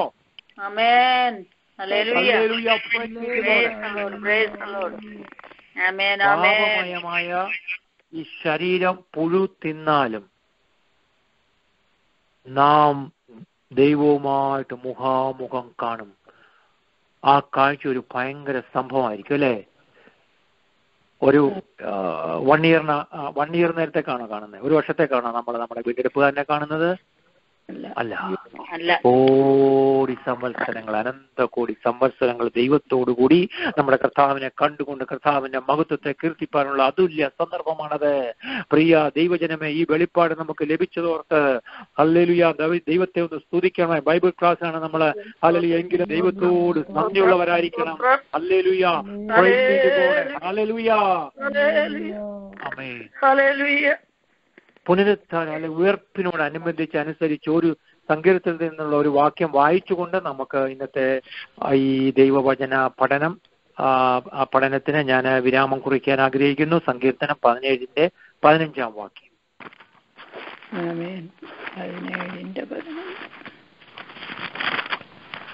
നമുക്കറിയാവുന്ന ഒരു വാക്യം അത്. ആ പതിനഞ്ച്. ഞാനോ നീതിയിൽ നിന്റെ മുഖത്തെ കാണും. ഞാൻ ഉണരുമ്പോൾ നിന്റെ രൂപം കണ്ട് തൃപ്തനാകും. മതി മതി. നമ്മൾ രാത്രി കിടന്നിട്ട് ഗുഡ് നൈറ്റ് പറഞ്ഞ് രാവിലെ ഗുഡ് മോർണിംഗ് ഡാഡി അല്ലേ മോളെ എന്ന് പറയുന്ന അല്ല കേട്ടോ അത്. അമേൻ സങ്കീർത്തനക്കാരൻ അന്ന് വെളിപ്പാട് കിട്ടിയതാ. അമേൻ നമുക്ക് അതിനെക്കുറിച്ച് പിന്നീട് ഒരിക്കലും ദൈവം കർത്താവ് അനുവദിക്കുകയാണെങ്കിൽ പറഞ്ഞുതരാം. എല്ലാവരെയും ദൈവം അനുഗ്രഹിക്കട്ടെ. ക്രിസ്തുവിൽ എല്ലാവരെയും ഞാൻ പിതാവിന്റെ നാമത്തിൽ യേശുവിന്റെ നാമത്തിൽ ഞാൻ നിങ്ങളെ അനുഗ്രഹിക്കുന്നു. താങ്ക് യു അവസരം തന്നതിൽ എനിക്ക് നന്ദി. ഞാൻ രേഖപ്പെടുത്തുന്നു thank you thank you thank you. Thank God bless you രാത്രി കാലം നമ്മളെ ഉറപ്പിക്കുന്നതായിട്ടുള്ള വിലപ്പെട്ട ആലോചന പരിശുദ്ധാത്മ നിറവിൽ കർത്താവിന് കർത്താവിന് യേശു ക്രിസ്തുവിന്റെ നാമത്തിൽ അപേക്ഷിക്കുന്നു കേൾക്കുന്ന സ്വർഗസ്ഥ പിതാപുത്ര പരിശുദ്ധാത്മാവാം ക്രിയേക ദൈവത്തിന്റെ വിലപ്പെട്ട സാന്നിധ്യം ഭജന സംസാരിച്ച ഭക്തം കുടുംബത്തോടും മക്കൾ കുച്ചുമക്കളോടും. ആലയിലെ പ്രയർ നടത്തുന്ന മക്കളോടും. ഇത് സംബന്ധിക്കുന്ന എല്ലാവരോടും കൃത്യദാസന്മാരോടും പാടുന്നവരോടും പ്രാർത്ഥിക്കാൻ കഴിഞ്ഞ എല്ലാ മക്കളോടും പൂലോട്ട് സ്ഥല വിശുദ്ധന്മാരോടും ഇന്ന് വന്ന കർത്താവിന്റെ രണ്ടാമത്തെ മേഘ പ്രത്യക്ഷ ഉണ്ടായിരിക്കുമാറാകട്ടെ ആമേൻ ആമേൻ. ആമേൻ. ഗോഡ് പ്രൈസ് കർത്താവിന് നന്ദിയോടെ സ്തോത്രം. ഈ രാത്രികാലം അനുഗ്രഹിക്കപ്പെട്ട വചനം കേൾക്കുവാൻ തക്കോണം കർത്താവ് നമ്മെ സഹായിച്ചുവല്ലോ. ദേവദാസിനെ കർത്താവ് നമ്മുടെ മധ്യത്തിൽ ഉപയോഗിച്ചതിനായി നമുക്ക് കർത്താവിനെ സ്തുതിക്കാം. വചനത്തിന്റെ ശക്തി അതിന്റെ ശക്തിയോടുകൂടി അഭിഷേകത്തോടുകൂടി അനുഗ്രഹത്തോടുകൂടി ഹല്ലേലൂയ ദൈവജനത്തെ അറിയിപ്പാൻ തക്കവണ്ണം തുറന്നും കർത്താവിന്റെ ദാസനെ ഉപയോഗിക്കട്ടെ. ഹല്ലേലൂയ സ്തോത്രം.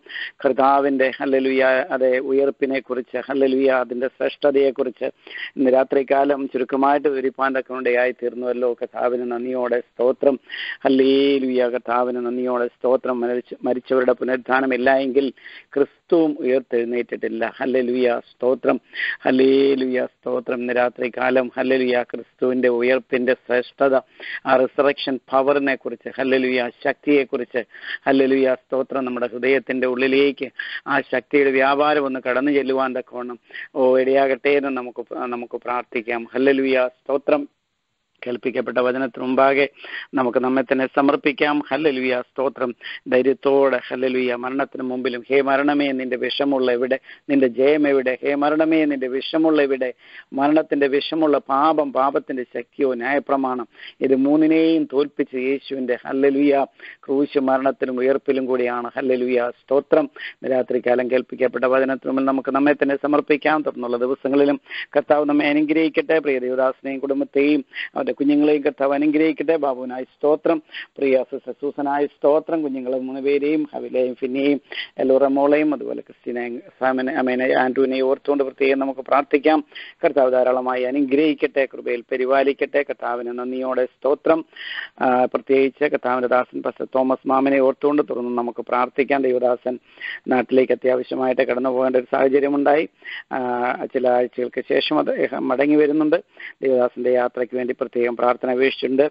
ഒരിക്കൽ കൂടെ നമ്മെ എല്ലാവരെയും ദൈവകരങ്ങൾ സമർപ്പിക്കാം. ദൈവമായ കർത്താവ് നമ്മെ എല്ലാവരെയും അനുഗ്രഹിക്കട്ടെ.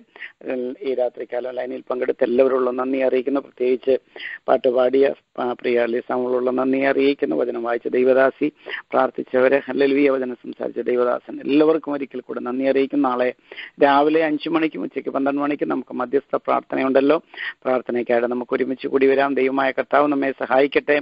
നാളെ വൈകിട്ട് നടക്കുന്ന പ്രയർ ലൈനിൽ കർത്താവിന്റെ ദാസൻ ഇവാഞ്ചലി സിംജൻ ജേക്കബ് ദൈവത്തിന്റെ വചനത്തിൽ നമ്മോട് സംസാരിക്കുന്നു.